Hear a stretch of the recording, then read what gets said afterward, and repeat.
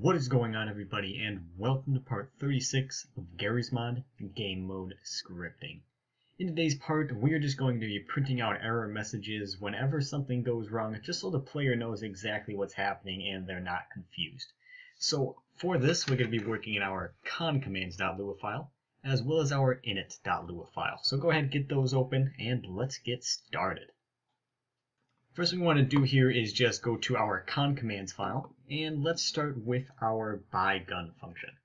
So we want to do a few things here. We are first of all we're checking to make sure that their player level is greater than or equal to the level requirement. So if their player level is not greater than or equal to that level requirement, let's go ahead and print something out so they know what's up. So we do else. And then right inside of here, we want to go ahead and print out a message to the player. So we'll do ply colon print message. And we are going to be doing, the first one is just where we want to print it. So we want to do HUD underscore print talk. And that's just going to be displaying this message in their little chat area. And I'm also going to be showing you two more different ways of doing this uh, at the end of this video. But for now, this is how you get it in that chat box.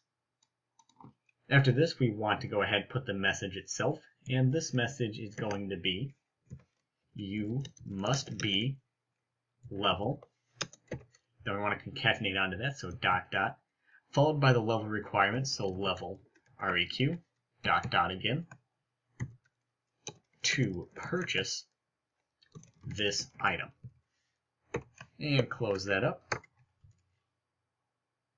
And then after that, that's all that we want to do for that player level. And we want to go ahead and do the same exact thing for the balance. So if they do not have enough money, let's go ahead and do else.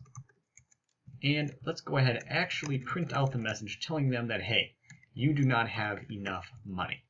So what we want to do is you do not have, you can put whatever you want in here. This is just a, this is just a default thing. So if you can't think of anything right now, just go ahead and throw this in there, just so you know it's working. So you do not have enough money. And let's spell that right. Enough, enough money to purchase this item. So with that, what will happen is that if they don't have the right level or the right balance, it'll go ahead and tell them so then they'll know what's up and then they can go ahead and fix that.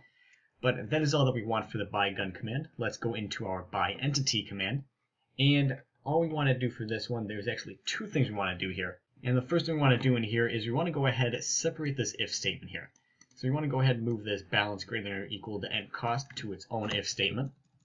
So we're first going to check the end count. Then we want to check if, and paste that back in, if the balance is greater than or equal to the cost of that entity. Let's do all that and end. And we also got to put the then there. So now we can go ahead and do proper error checking here.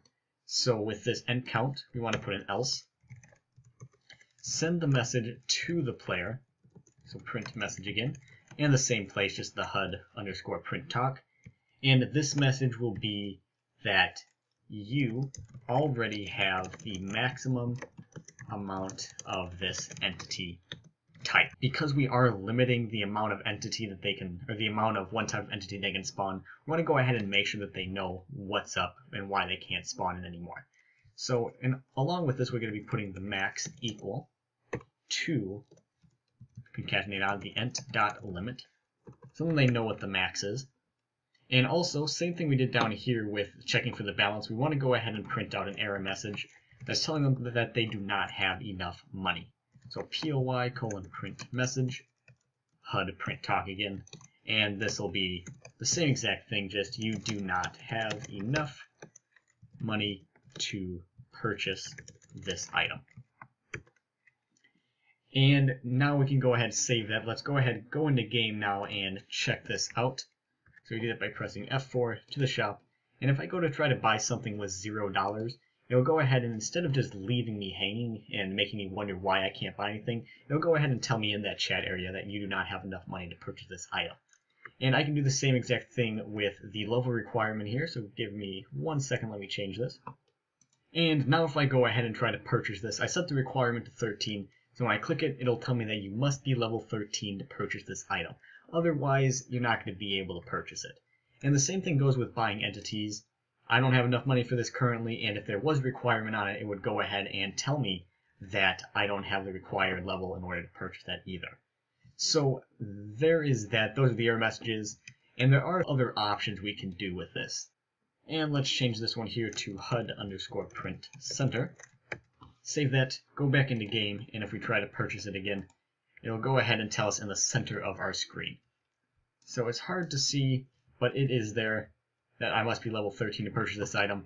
And then another thing is I can just go ahead and print it directly to the console by doing HUD underscore print console, like so. So save that again, run it, and this way, when you buy it, nothing will show up, but it will show up in console right there. And let's go ahead and do one last thing before I end this video, and that is just going to be to display a level up message whenever the player has the required amount of experience. So let's do that now. Let's go to our init.lua file in the check for level function, and right here where we are checking in this if statement if their current XP is greater than or equal to the EXP to level, let's just send them a simple congratulatory message such as, let's set up first, ply colon print message. And we'll do the same exact thing. We'll put it in the text box again, so HUD print talk. And we're just going to do congrat, congratulations, congratulations, you are now level, and concatenate onto that their new level, so it'll just be current level plus 1, and then concatenate onto that a period.